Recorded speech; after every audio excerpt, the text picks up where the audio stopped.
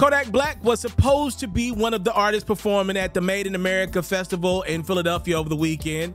That festival was originally put together by Jay Z. So apparently, Kodak was late to his set. As a matter of fact, a couple fans told me straight up and down that the DJ for Kodak Black was on time and he was basically trying to stall until the Project Baby got on stage. Uh, but Made in America is a, a, festival that's got a lot of artists on it. They're a business. They had to move on. Kodak missed his set time and boy, was he not happy. He ended up calling out Made in America and the person that put it together, Jay Z. Check it out. Made in America, man. I don't know what's going on. This the first show ever. Him and a little late too, and and and. and can't perform, no money, none of that shit. Jay Z, whoever running this shit, Roc Nation, Live Nation, whatever the f. Y'all better, oh, man. This is the first show, and a little few minutes late to fans out here want to see all type of But nigga done pay his jet, all type of man. Y'all ain't. What? Okay, tomorrow. Okay, do it for tomorrow. Y'all can't.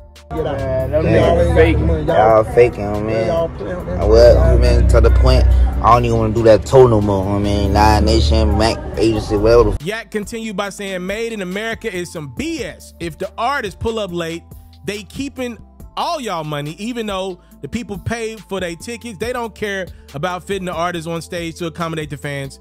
First show ever that don't send the half front end deposit. That's why they don't care to make the show go on. I pulled up though. Yeah, um, shout out Project Baby. I love Kodak Black's music, one of my favorite artists, but all this is wrong. All of this. We can't keep doing this to each other. You know, well, first and foremost, Made in America somehow, some way got away with not paying their artists or the artists that are supposed to perform their money up front. So in their minds, it's like, okay, if an artist that we promoted is late and doesn't show up, we've already got the fans to pay for seeing that artist. We didn't give the artist their upfront money. We were going to pay the artist correctly, but the artist didn't show up.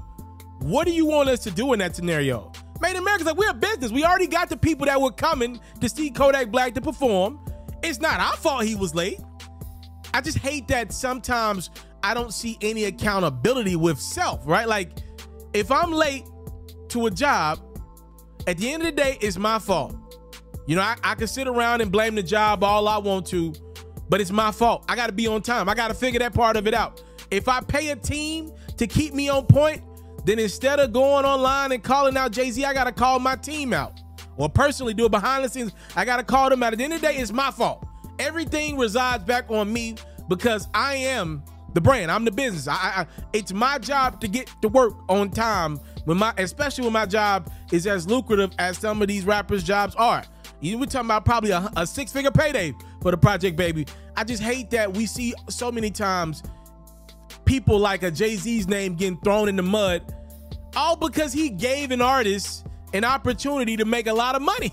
Like he's getting blamed because he put Made in America together. How is it Jay-Z's fault that you were late for your set time? That ain't right. So now his name got to get drugged through the mud because somebody wasn't available for their set time and Made in America just couldn't sit around and wait until you got there whenever that would be. Like, just you gotta be on time. That ain't whole fault. That ain't Made in America fault. They wanted to pay you. They wanted you to be there. That's why they booked you. It's not their fault that you were late. And the fact that they had an out, their out is somehow, some way, they were able to get an artist to come without giving them the front end money. You don't really see that oftentimes today. The festivals can do a little, things a little differently just because the festival money is so good nowadays. I don't think it's made in America's fault. I don't think that's right to run their name through the mud, to call them out as a festival, to call, you know call out Jay Z, and to try to put it on Made in America not accommodating the fans. Like, it's not their fault that the artist won one on time. That ain't right. Right is right, wrong is wrong. I love the project, baby. That one ain't right. I can't. Nah, I'll be. And y'all know I'm a a, a Kodak apologist. Oftentimes, I love the project, baby. That one I can't. Nah. Nah, I want to thank you guys so much. Time, love, support. Maybe you see this scenario differently. Y'all let me know.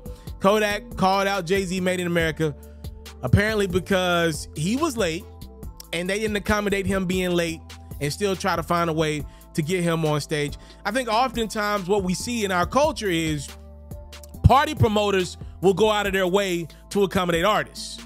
You know, these clubs can't afford to take a six figure L if the artist don't show up. Not only financially, but their brands can't afford to take a hit as the party promoter that promised you said artist was gonna be in the building and that artist don't show up. The people in that city just ain't gonna come out the next time. Right? Like they're gonna be pissed about paying that 100, 200 at the door, and then whoever don't show up. So the party promoters can't take no L's. A lot of times the party promoters are, are, are very accommodating the artists. They'll stay 3, 4 a.m. to get that artist on stage. You look at a festival, the way they got their business structured, it ain't about one artist. The show moves on. So in a scenario like that, the, the, the festival's just doing straight up and down business. They don't need an artist per se versus a, a, a party promoter desperately needing that artist to come out. They got to make that money back. They need them bars to be filled and packed. Um, they their reputation can't take hits like that as well. So I think just two totally different scenes. I think Yak got the party promoters mixed in with the festival. Them two different bags. Thank y'all so much. Time, love, supporters with your boy. We'll never take for granted around here. Salute. I'm out.